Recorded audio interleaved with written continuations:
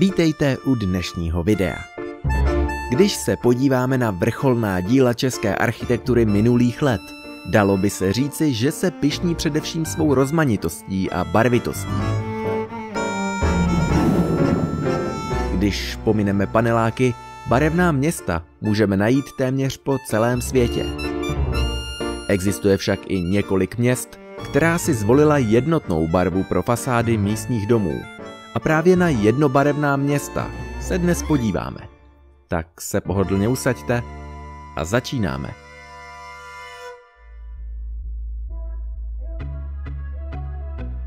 Páté místo Huskár Španělsko. Městečko Huskár leží na jihu Španělska nedaleko Malágy a až do roku 2011 nebylo ničím významné. Místní stavby měly čistě bílé omítky a přijelo sem sotva 300 turistů ročně. Ovšem roku 2011 přišla nabídka od společnosti Sony Pictures, kde stálo, že by v rámci propagace premiéry filmu Šmoulové nabarvili celé město na modro. A radnice souhlasila.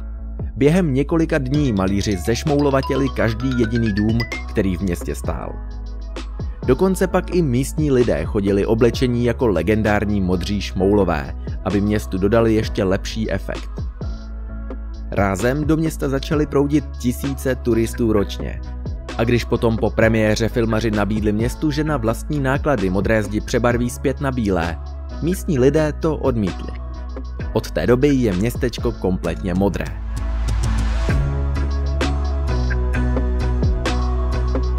Čtvrté místo Izamal, Mexiko. Mexiko je země s bohatou historií a kulturou. A konkrétně na poloostrově Yucatán leží hořčicově zbarvené město Izamal, které patří k nejstarším osídleným místům ve Střední Americe. Město patřilo dokonce mezi centra majské civilizace. Stálo zde nejméně pět obrovských pyramid a nespočet menších chrámů. Dnes zde tedy turisté mohou objevovat směs majských a koloniálních památek, a to navíc v jednotné hořčicově žluté barvě.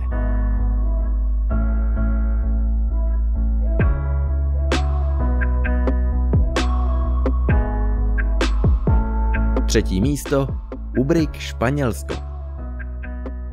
Tak, jak jsme si ukazovali dřívější podobu městečka Chúskár, že místní domy měly jednotnou bílou fasádu, po celém Španělsku je takovýchto městeček asi 1500.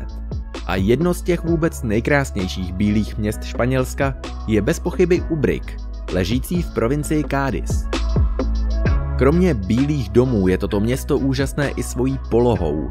Leží totiž ve stínu okolních hor a když se podíváte proti zdejším temným svahům, sněhobílá barva města dokonale vyniká.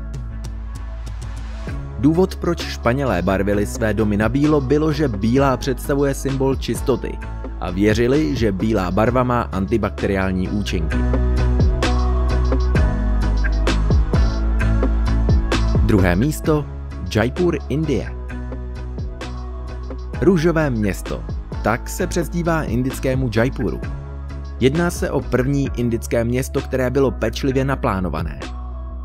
Řešila se tedy nejenom jeho urbanistika, ale také celkový dojem, jak má město působit na své obyvatele. Protože se o kráse tohoto města hodně mluvilo dokonce i v daleké Evropě. Roku 1853 navštívil Jaipur prince z Walesu. Pro tuto slavnostní příležitost se místní lidé rozhodli město odít do nějaké výrazné barvy a proto zvolili růžovou. Jaipur tak od té doby růžový zůstal.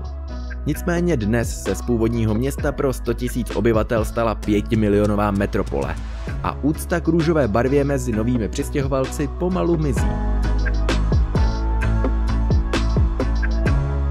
První místo Bath, Velká Británie.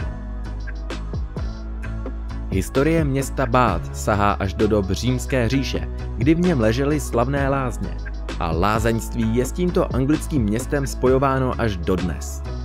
Bát je typický především svojí okázalou architekturou, kdy většina fasád v historickém jádru města je vyrobena z místního vápence, jenž vyniká nádhernou smetanově medovou barvou.